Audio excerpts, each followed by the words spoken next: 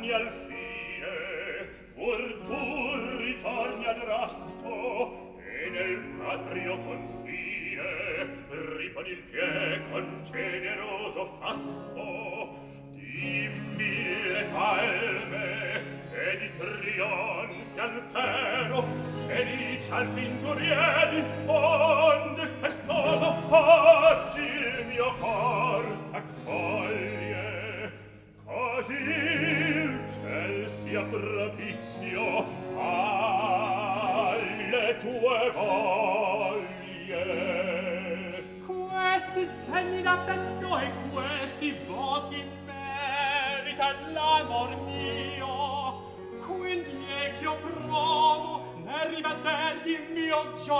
maggiore.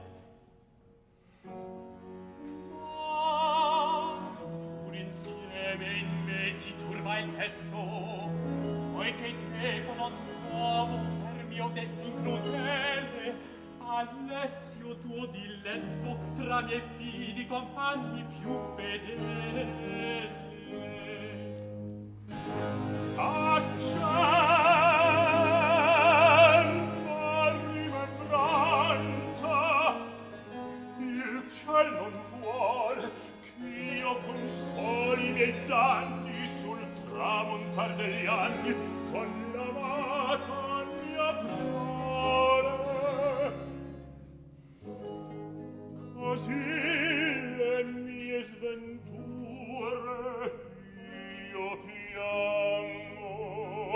e solo l'occhietto a tutti.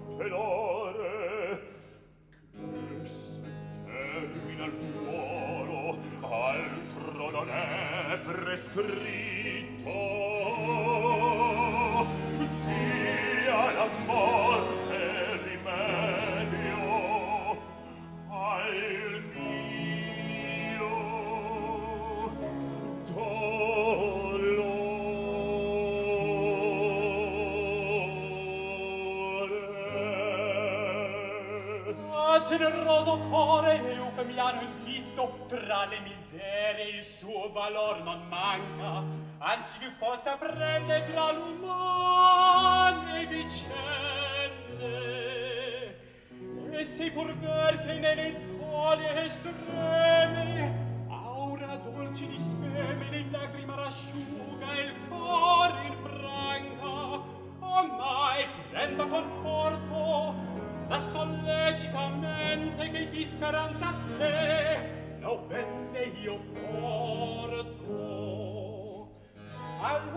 oriente, dove oh, il paghezza d'armi li pievi tende, di ricco i servi tuoi fedeli, che non lasciando in ciò consiglio ad arte, solleciti c'è caro vesi cieli, il tuo smarito figlio in ogni parte.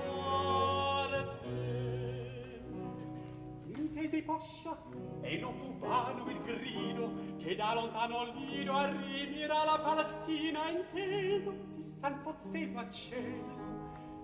Era raggiunto in pellegrin devoto a cui largo sui grazie cielo infonde. E terrar forze quei alle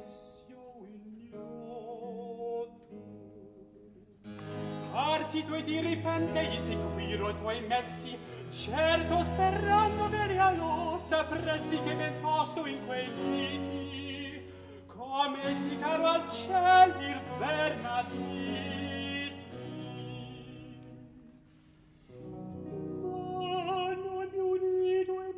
Strano vero ne comprende si può qualcuna o voglia a lontano sentiero richiamar dalla paterna soglia e così appunto ad rasto il suo partire inopinato e nuovo fu sol per mio martire altra cagion del suo partire non trovo.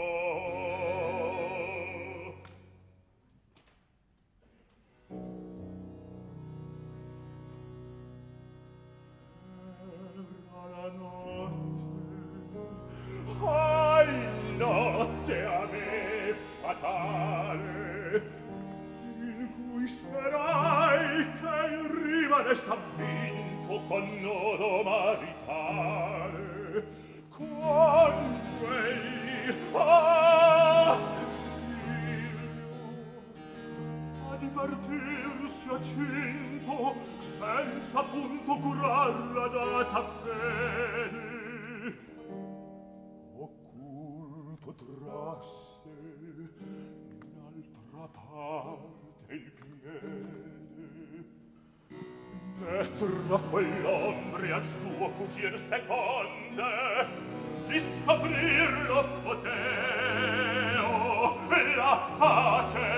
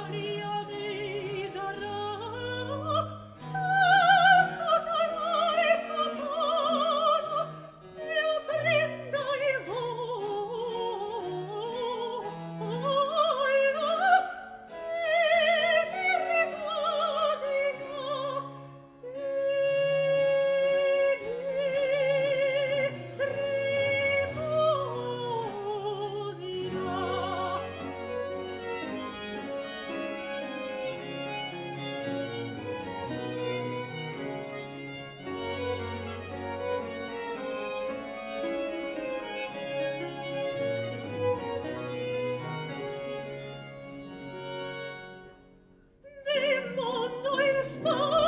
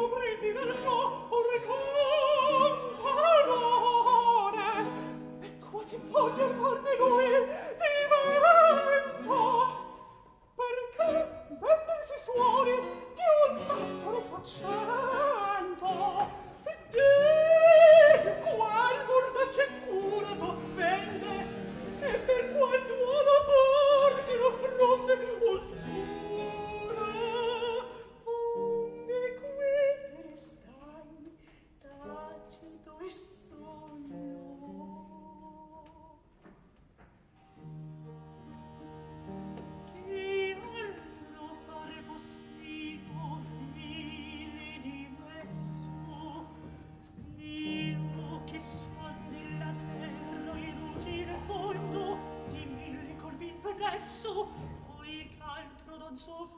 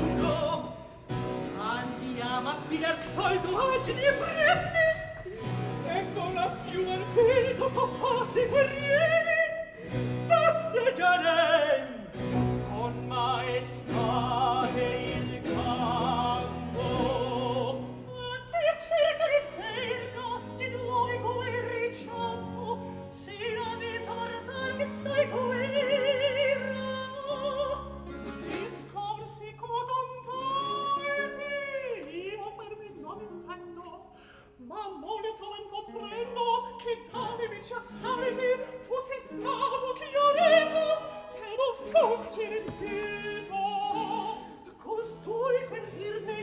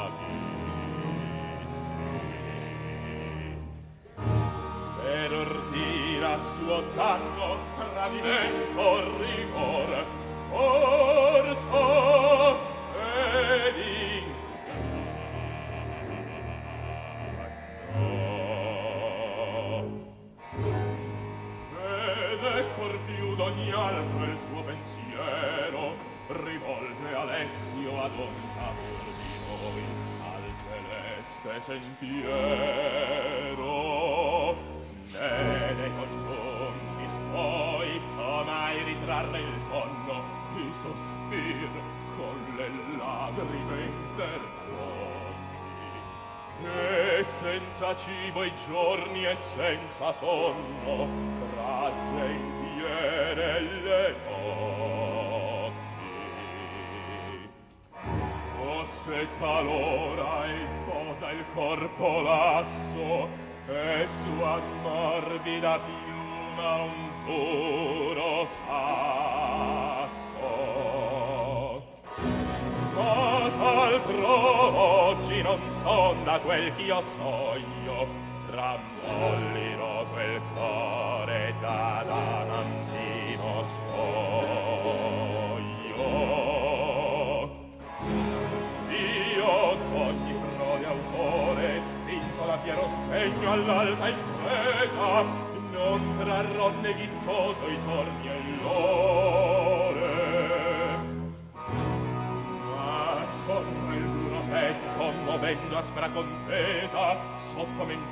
ecco celerò così l'arti ed ogni prode adempirò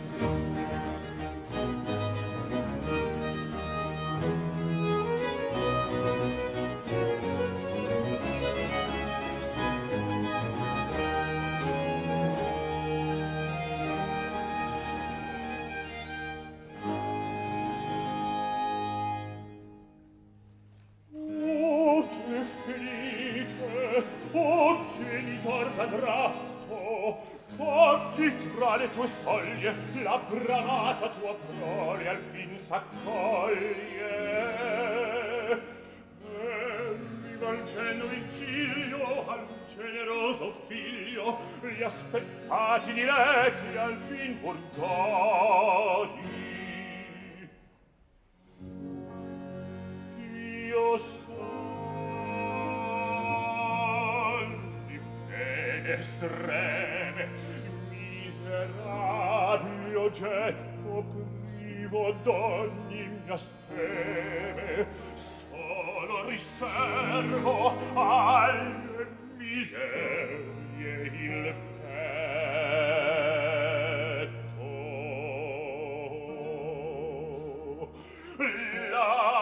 Lasso, ma custor, se mai tregua non sente il mio dolore.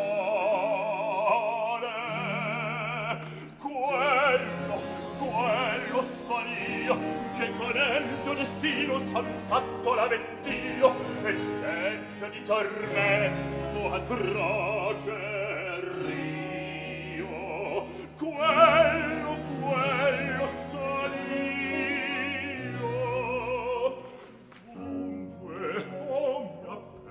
acerba, oh mia donna, in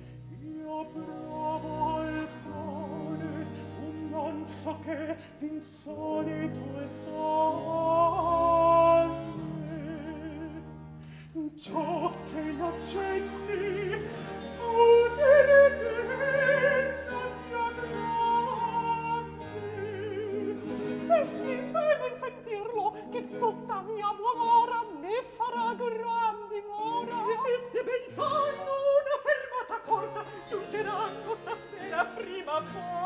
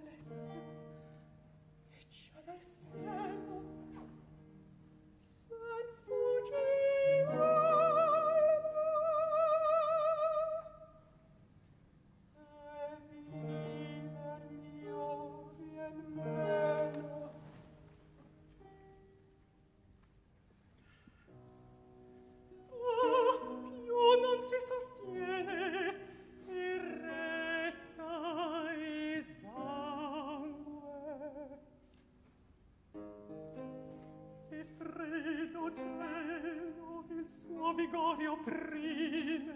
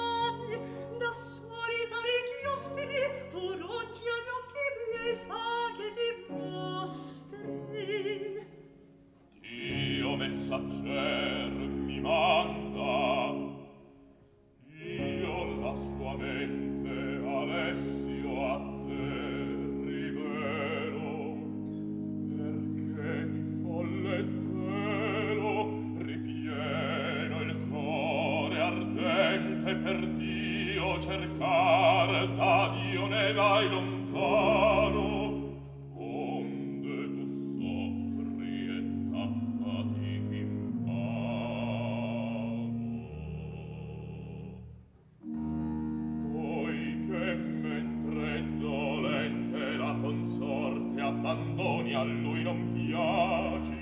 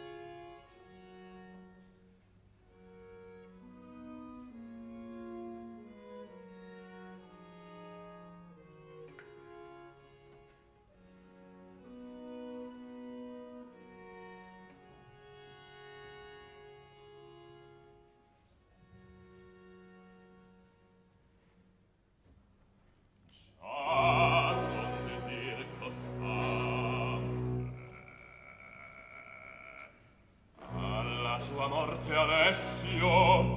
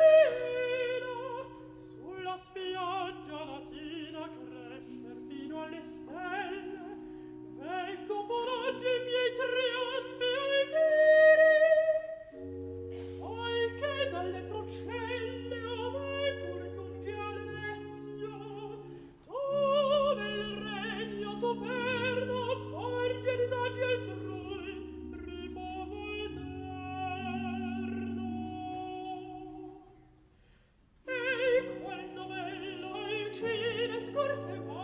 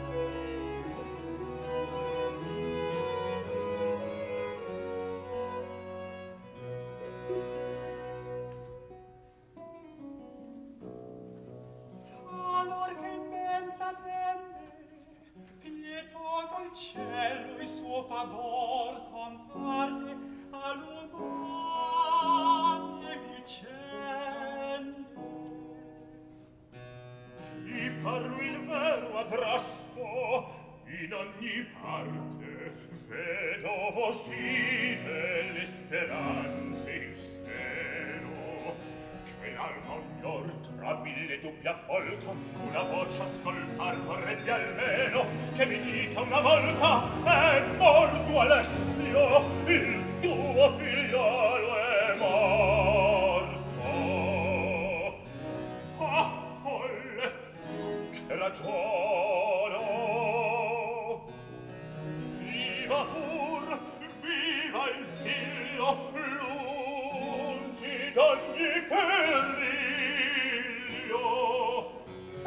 giocare nante con festoso sembiante con sollecito pie sopronio arriva. Unia ciò che ne porti. In ogni riva oggi risponda di letizia e del febro e voi pur cui con la sembianza mesta ve ne state in disparte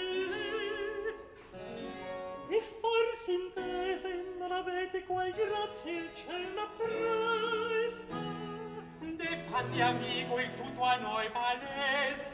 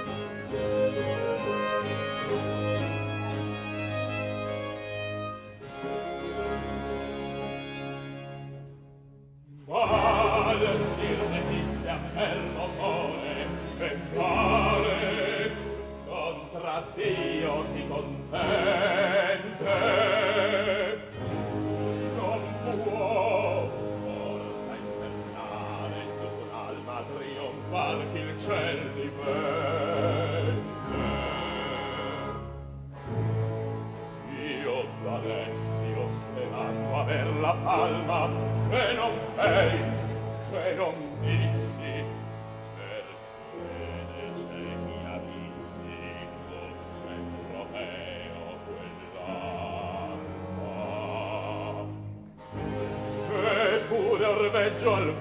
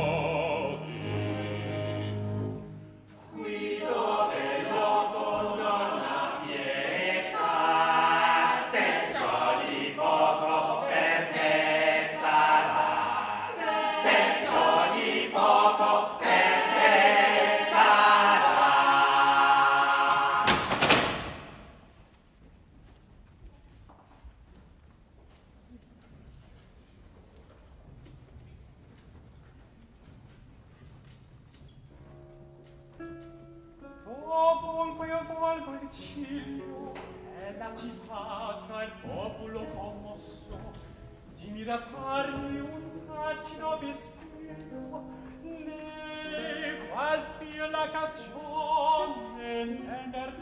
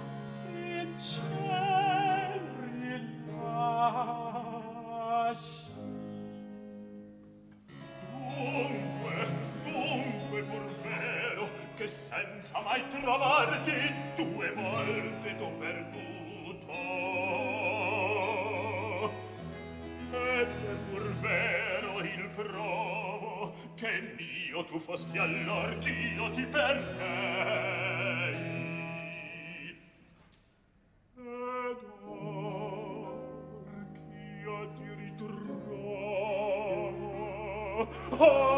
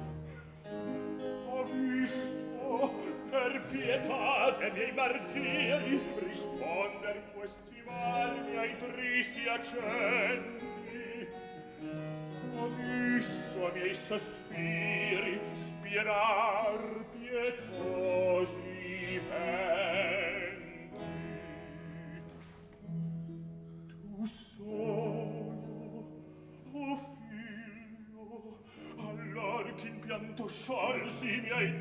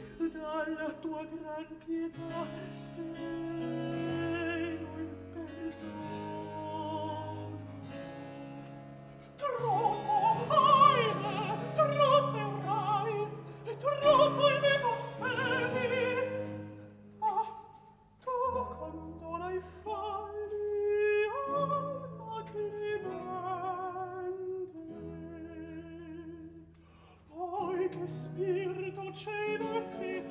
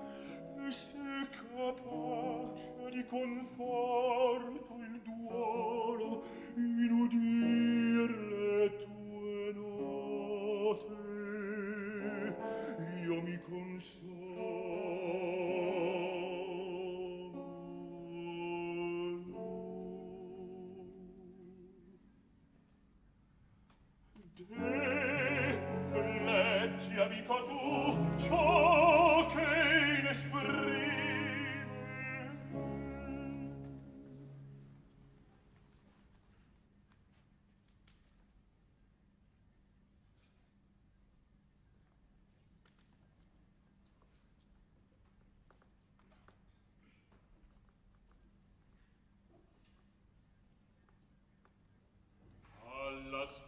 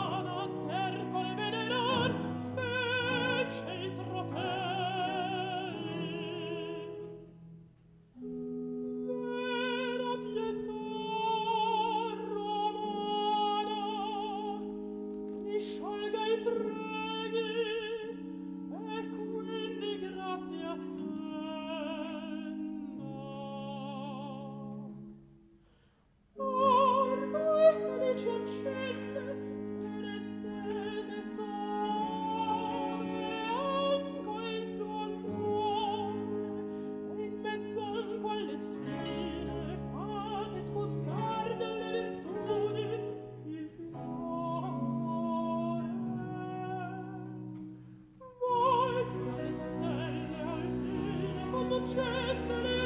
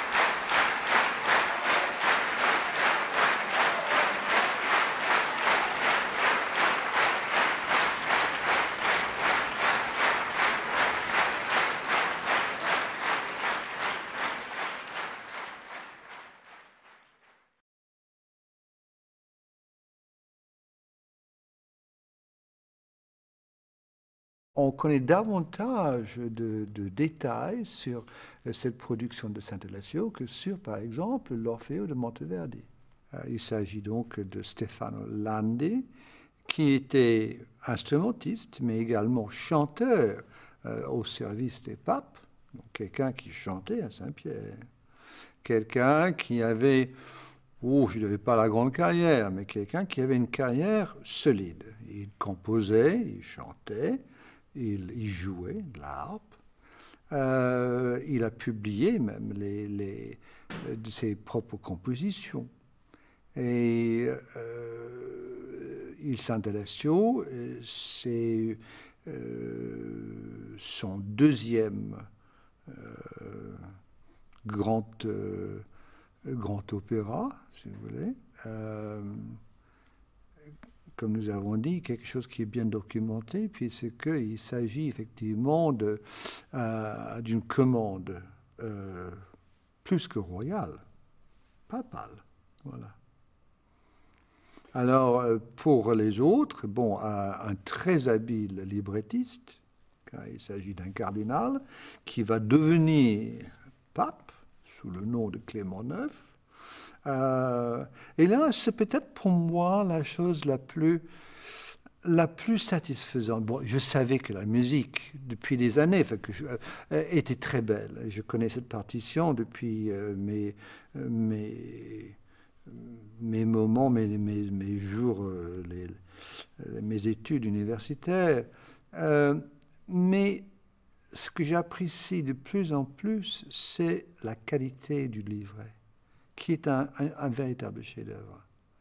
Il ne s'agit pas de n'importe quoi. Ce n'est pas un, petit torchon, n'est-ce pas, écrit comme cela pour euh, être oublié euh, le, surlendemain, comme beaucoup, beaucoup de livres d'opéra. Il s'agit vraiment d'une véritable belle œuvre de, de, de la littérature. D'abord, quand on lit le livret, on se rend compte qu'il y, y, a une singularité très grande de l'histoire. Euh, un, sujet euh, comme ça très, très intense, très particulier, centré autour d'un héros, euh, Sant'Alessio, mais qui passe son temps à, à, ne rien faire, juste à être en prière ou dans le, refus de l'action. Donc ça, c'est une chose très singulière par rapport à un opéra et à ce qu'on peut attendre d'un héros d'opéra. et puis, et puis c'est un sujet religieux. Donc on s'attend à quelque chose euh, d'un grand recueillement euh, par rapport à l'œuvre, une austérité. Euh, a, priori, hein, on se dit le héros est quelqu'un qui refuse, qui renonce au, monde. L'opéra va être lui-même un, modèle d'austérité, de, recueillement religieux proche de l'oratorio. or, euh, parallèlement euh, à ce, livret, euh, je lisais le témoignage d'un voyageur français à l'époque, Bouchard, qui était présent à Rome en 1632 lors d'une reprise du, du Sant'Alessio et euh, qui déambule dans les rues, qui raconte euh, euh, les masques, les, pièces qu'il voit, les, représentations dans les rues, les courses de chevaux, cette fête d'une grande beauté, d'une grande violence aussi, parce qu'il y, avait aussi des, actes, de, des batailles entre les gens, aussi des, actes antisémites. Enfin, c'est, le carnaval est une fête comme ça très contrastée et au sein de ça, une représentation du Sant'Alessio. Et une représentation, visiblement, d'après ce qu'il en dit, euh, qui était quelque chose de, de, où le carnaval n'était pas complètement oublié par rapport à la sensualité qui s'en dégageait. Et cette représentation a lieu dans ce palais, euh, c'est quelque chose de, somptueux, c'est un éclat de, costumes, de, décors, c'est un travail euh, qui a duré très longtemps. Qui, a, sollicité euh, pour la scénographie euh, Pierre de Cortone, donc celui qui a, peint les fresques du palais Barberini, un très très grand peintre de cette époque, qui s'est plongé avec les bibliothécaires dans toute l'iconographie antique pour essayer de, retrouver une esthétique, justement. Et, c'est cette démarche-là qui donc représente une somme de travail incroyable. Donc il y a comme ça quelque chose de très somptueux. On parle, Bouchard, dans sa description de la représentation, qui est assez, assez succincte, mais qui donne vraiment une idée. parle à la fin d'un éclat euh, au, moment de l'apparition des, anges et de la montée de l'âme d'Alexis au ciel, d'un éclat tellement grand qu'on en était ébloui euh, par la lumière. Quoi. Et l'une des choses qui le marque, c'est le fait que tout était chanté par des hommes, euh, des pages, des, jeunes garçons, des castrats. Donc on a un témoignage d'un spectateur de l'époque euh, qui disait que l'émotion, euh, l'un des facteurs de, l'émotion qu'il avait ressenti et que tout le monde ressentait dans la salle, était euh, la distribution masculine.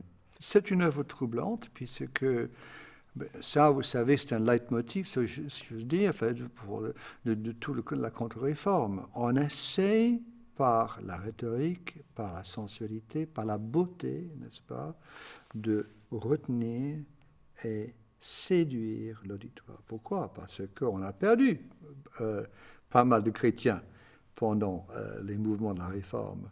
Et la contre-réforme essaie effectivement de rétablir la suprématie de l'Église catholique romaine.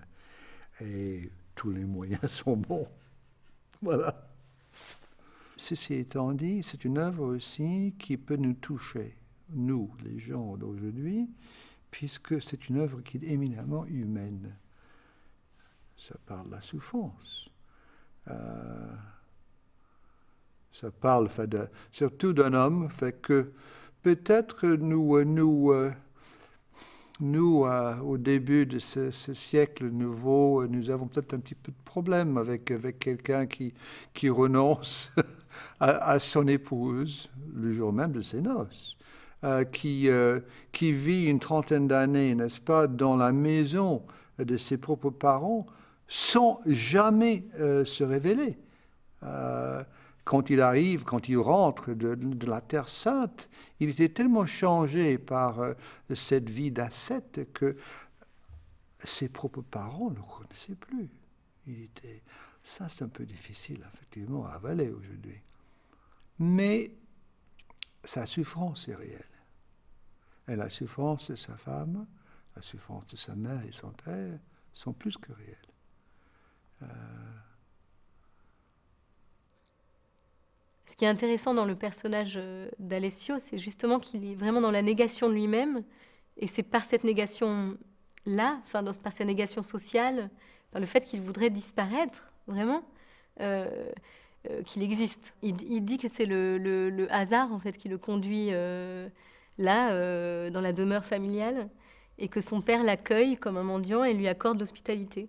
Et que lui, se, retrouvant là, finalement, reste, euh, poussé euh, par un je ne sais quoi, décide de rester, et en, considérant que c'est la, peut-être la pire des souffrances, enfin le, pire martyr qu'il pourrait s'infliger, euh, de rester et d'entendre les lamentations de, ses parents et d'arriver si proche euh, euh, du, désir à se, à se priver. en permanence tenté par, à la fois par le par l'envie de retrouver sa famille et ses proches et à la fois par la culpabilité aussi. il y a ces deux choses-là qui, qui, existent et qui sont très fortes. Et donc, euh, tant de fastes pour représenter euh, exactement le, le, le, contraire. Quoi, pour, pour, euh, voilà, c'est un, beau paradoxe baroque, s'il en est. C'est la première fois qu'on fait ça, un opéra qui sort du, sujet mythologique et qui propose une figure présentée comme historique, ouais, qui, est en fait une construction à partir de, différentes, euh, légendes, euh, mais qui est présentée comme un personnage historique. Euh, Rospigliosi, le librettiste, qui était un homme d'église, qui, savait qu'il fallait pointer un certain nombre de choses dans le livret, parler de Rome, parler indirectement de, de, la famille Barberini, le livret qui donne beaucoup d'indications. Hein, c'est un, livret qui, euh, où au début de, chaque scène, il y a le contenu de la scène et même le sens de la scène parfois, et, des jeux de scène sont indiqués. Et euh, au départ, euh, dans le prologue, Rome apparaît avec des esclaves qui représentent ses conquêtes passées. Donc il y a plusieurs pays qui sont représentés en, écho à, ces conquêtes passées. Euh, ce qui s'opère dans le prologue, euh, ce qui se raconte, c'est le passage de la Rome païenne à la Rome chrétienne. Euh, et c'est extrêmement intéressant parce que, est vraiment dit de façon, avec beaucoup de, franchise, enfin, en tout cas, voilà, ce qui s'est passé. enfin, la, technique de, l'Église pour remplacer les cultes. Et donc, elle, parle euh, de, culte, euh, euh, du culte païen et puis des héros antiques. Elle dit, mais maintenant, on a des héros encore plus forts, notamment Sant'Alessio. Et, mais il, les vaut. Et notamment, il y, a, quelque chose qui revient au, fur et à mesure de, l'opéra, c'est le fait que Sant'Alessio est aussi fort qu'Hercule et que les douze travaux d'Hercule ne, ne, sont rien par rapport à l'effort qu'a fait Sant'Alessio. Il y a comme ça un paradoxe euh, apparent, mais il y a vraiment la volonté de placer euh, euh Sant'Alessio dans l'équivalent d'Hercule. Euh, et à la fin, Rome dit, il y a un temple dédié à Hercule, vous enlevez les statues, et maintenant, ça sera le culte de Sant'Alessio. Et, et, et, donc, est dit en parole ce qui s'est fait euh, euh, dans, les faits, à la fois, ben, surtout dans tous les lieux de culte, euh, ils n'ont pas été rasés, mais ils ont été remplacés. On, voit bien, les, pierres de fécondité ont été... Là où il y avait des pierres de fécondité, on a mis des églises. là où il y avait des fêtes, on a mis des fêtes. il fallait bien sûr une fête du, solstice d'hiver. c'était, il y avait Hanouka qui était la fête des Lumières. il y a Noël qui est la naissance du Christ. Il y a vraiment euh, aux, angoisses euh, humaines, on vient apporter une, réponse euh, qui apporte des noms différents, mais qui est vraisemblablement la même. C'est-à-dire, vous inquiétez pas, c'est l'hiver, mais un jour, il y aura le printemps. Et voilà, il y a, ça, on, voit ça vraiment à l'œuvre dans l'opéra. Chez les papes, à Rome, la musique papale se faisait avec les hommes. Mais bon, trouve ça un, peu regrettable, mais euh, les luthériens, un siècle plus tard, même pas, enfin, au même moment, euh, interdisaient aussi euh, aux femmes, effectivement, de chanter, effectivement, dans le culte. Ce que vous dites est très vrai. La chanteuse d'opéra existait à l'époque. Monteverdi écrivait pour les, les femmes il adorait ça. La Lamento d'Ariane, son célèbre morceau, euh, peut-être le plus célèbre morceau euh, qu'il ait jamais composé, était composé pour euh, la petite euh, Catalina Martinelli qui est décédée à 19 ans. mais ici, le climat est tout à fait autre. il s'agit d'un milieu papal. Les femmes ont été assez misogynes, même très misogynes, il faut bien le dire. On n'est pas vraiment habitué euh, euh, en, Occident au fait que le travestissement euh, peut être quelque chose d'émouvant et, qu'un homme peut investir un personnage féminin et, nous faire pleurer, pas nous faire rire. Euh, donc, il fallait euh, effectivement amener euh, les chanteurs à ce travail-là. un moment assez déterminant, ça a été de leur montrer le travail de Tamasaburo, qui est un grand, immense acteur de, de kabuki, non pas pour qu'il copie les gestes, puisque la, symbolique gestuelle n'est pas du tout la même que, que, que, dans la gestuelle baroque, ne serait-ce que parce que euh, la, symétrie, par exemple, n'a pas la symétrie qui symbolise la mort dans la gestuelle baroque ne symbolise pas du tout ça dans, dans, dans la gestuelle du kabuki, mais euh, pour leur montrer que euh, le, travail sur le travestissement, ça pouvait être une façon de représenter l'archétype féminin, la femme. C'est ce que dit Thomas Saburo dans, dans certaines interviews. Euh, il, dit euh, euh, Je ne suis pas une femme, je suis un homme qui peint une femme. Et même quand il interprète, il, y a ce geste du peintre, qui, cette petite distance-là, qui, qui donne aussi à son, interprétation une, espèce de, grâce, de distinction, une part de détachement, mais qui n'exclut pas, pas du tout le, le fait de, se laisser emporter par l'émotion. Quelqu'un a dit, je crois que c'était à Londres, euh, dans l'une des critiques, que ce que nous avons pu faire aujourd'hui, mais mais impensable, il y, a même, il y a même 15 ans. C'est vrai. Euh, la spécialisation euh, aujourd'hui c'est-à-dire les jeunes gens, les chanteurs, les instrumentistes, qui euh, consacrent toute une vie à, un, répertoire ancien, mais ils sont beaucoup plus nombreux aujourd'hui, et ils ont infiniment plus de talent que, que leurs prédécesseurs. Euh, aujourd'hui, c'est pas facile, mais c'est pas impossible, c'est pas si difficile que ça, de réunir un beau plateau de, de falsettistes soprane et alti.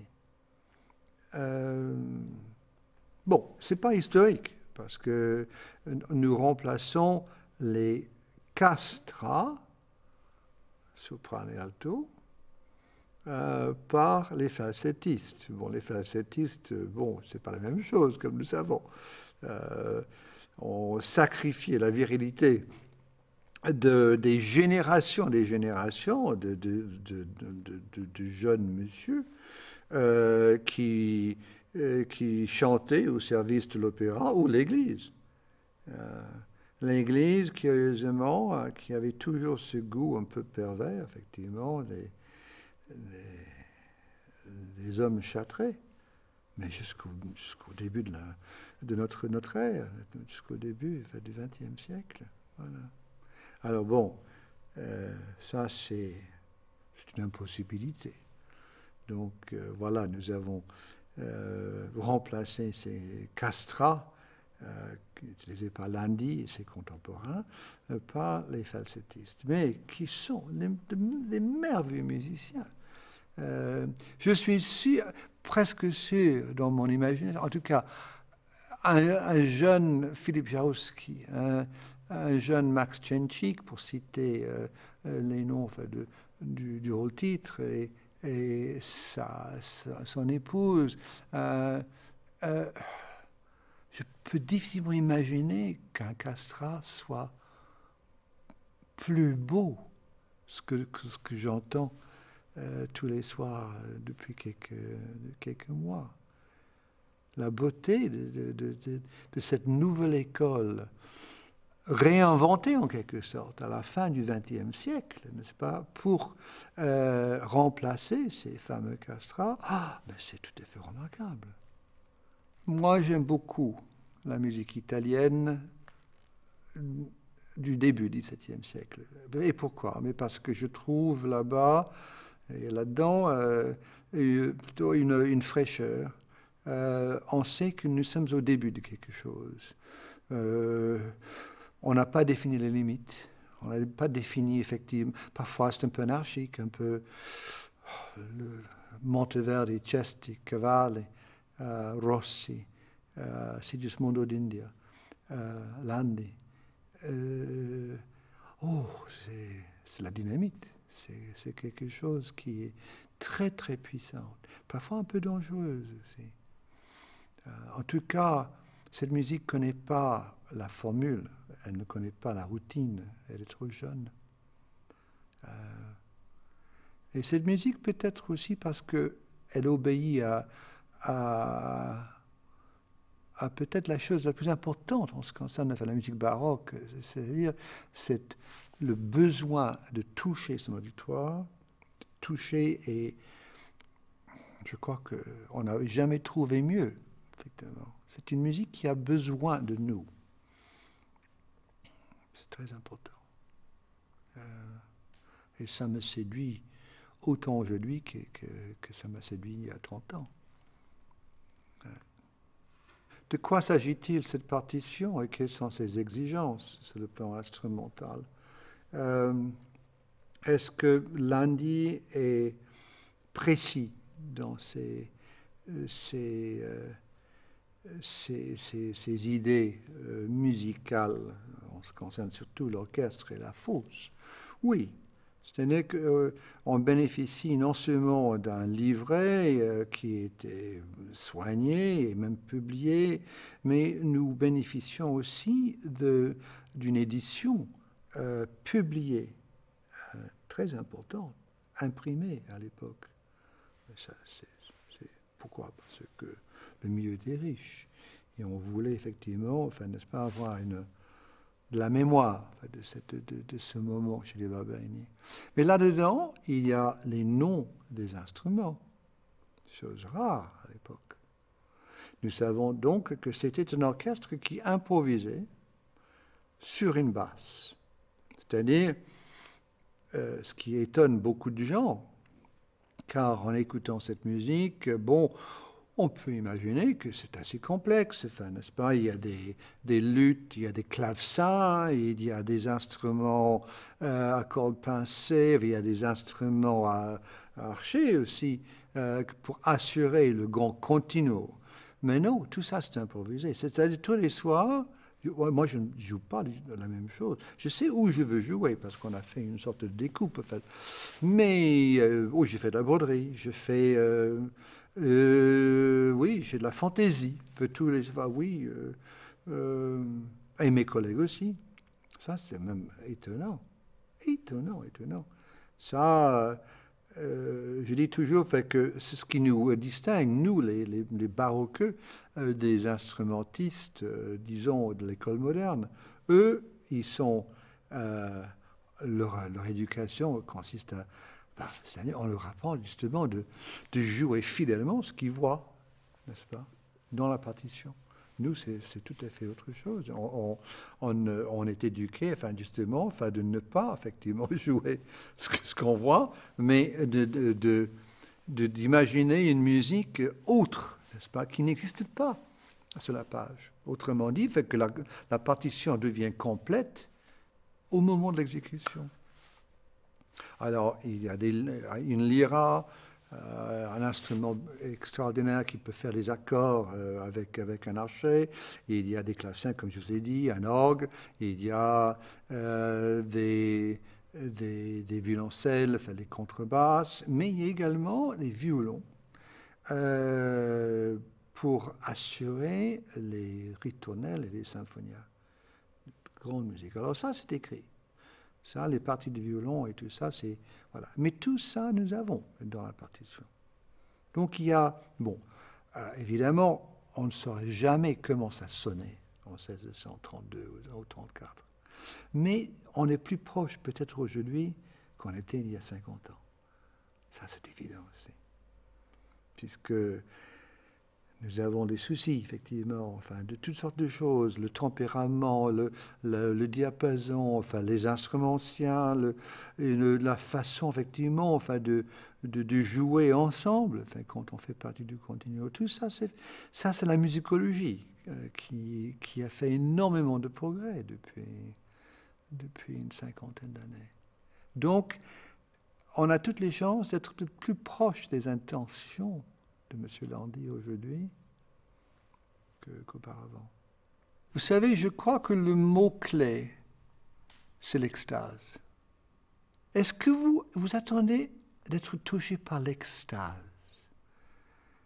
C'est non seulement enfin, le, le, le livret et l'histoire de ce saint, mais c'est dans la musique elle-même, la musique qui est sensuelle, mais jusqu'à un point, mais presque embarrassant. Et c'était pour provoquer effectivement, oh, j'imagine, c'est l'effet euh, qu'avait euh, euh, quelqu'un qui regardait la, la Sainte Thérèse du Bernin à Rome. L'extase, c'est quoi? Mais c'est un état, effectivement, qui est à la fois physique et, et spirituel. Mais l'extase s'accompagne toujours avec, avec un état physique, n'est-ce pas de, Est-ce que c'est du bien-être? Non, c'est beaucoup plus que ça. C'est... Alors, à plusieurs reprises, soit à Caen ou à New York ou à, Londres, je sais que moi et mes musiciens voulaient provoquer cela, voulaient retrouver cette notion, cet état d'extase, qui est plus qu'un état de, grâce, parce que c'est lié avec, avec une, comme je vous dis, une, une grande sensualité. Et je crois que c'était ça le but, effectivement, de cette œuvre. Euh, de la part de son librettiste et de son compositeur.